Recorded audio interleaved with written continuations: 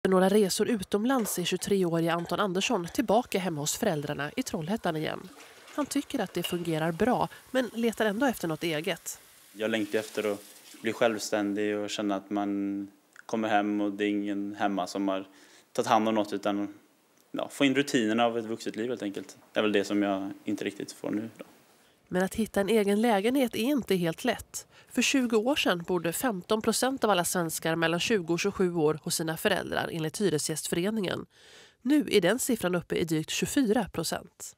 Jag tycker att det är bedrövligt för det innebär att eh, ungdomars, unga vuxnas vuxenliv eh, hamnar på vänt. Därför så tycker jag det är dags nu att man gör en ungdomsgaranti. Det vill säga att när man har fyllt 25 år så ska samhället se till att det finns en bostad att flytta till.